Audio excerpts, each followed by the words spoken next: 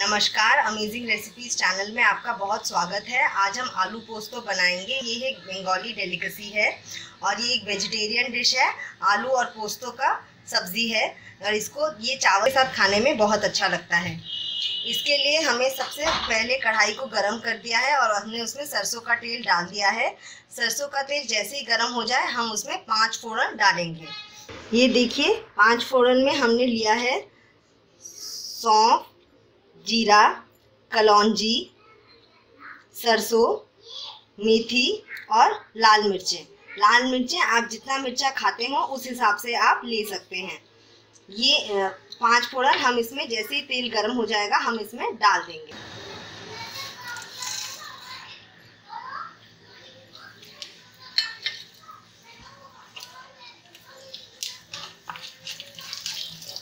पाँच फोड़न डालने के बाद हमने इसको थोड़ा सा चला लिया है और थोड़ा सा हम इसको हल्का फ्राई कर लेंगे।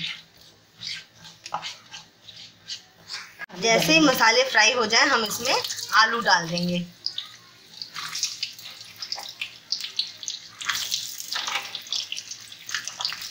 अब इन आलूओं को डाल के हम लोग इसको अच्छे से फ्राई करेंगे।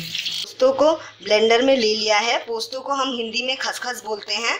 हमने चार चम्मच खसखस लिया है और हमने हरी मिर्ची भी ले ली है। अब हम इसको ब्लेंडर में अच्छे से पीस लेंगे। हमने खसखस को ड्राई ग्राइंड कर लिया है। अब हम उसमें पानी देके थोड़ा सा और मिक्सी में चला लेंगे।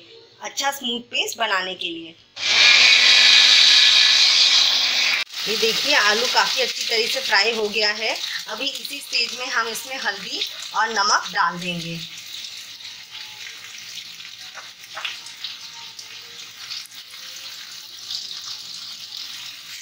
हमने इसमें हल्दी और नमक डाल दिया है और हम इसको फिर से अच्छे से मिक्स कर लेंगे। और कुक होने के लिए रख देंगे। जब तक ये पक नहीं जाता, हम इसको चलाते रहेंगे। सारा अच्छे से मिक्स करने के बाद, हल्दी और नमक को अच्छे से मिक्स करने के बाद हम कुकर ढक के इसको कुक होने देंगे।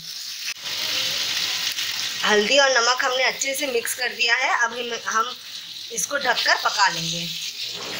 हल्दी और नमक को हमने अच्छे से इसमें मिक्स कर दिया है। अब हम इसमें पोस्तों का पेस्ट डाल देंगे। और इसके बाद हमें इसे फिर से अच्छे से मिक्स करना है।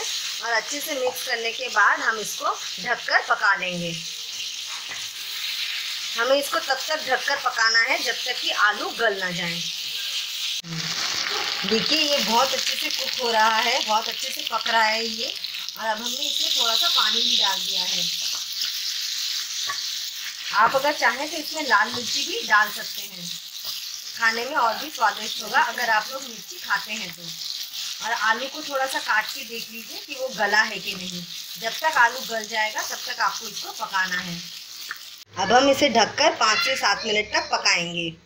ये देखिए आलू पोस्त बन बन गया है। ये बहुत ही टेस्टी लगेगा। चावल के साथ बहुत टेस्टी लगता है। अगर आप चाहें तो स्टेज में आप थोड़ा सा ऊपर से सरसों का तेल और डाल सकते हैं। उससे टेस्ट और भी बढ़ जाता है। ऐसी और भी रेसिपीज़ देखने के लिए आप मेरे चैनल को सब्सक्राइब कर लीजिए बेल नोटिफिकेशन को ऑन कर दीजिए, ताकि जब भी मैं कोई रेसिपी अपलोड करूँ, आप उसे तुरंत देख सकें। धन्यवाद। Thanks for watching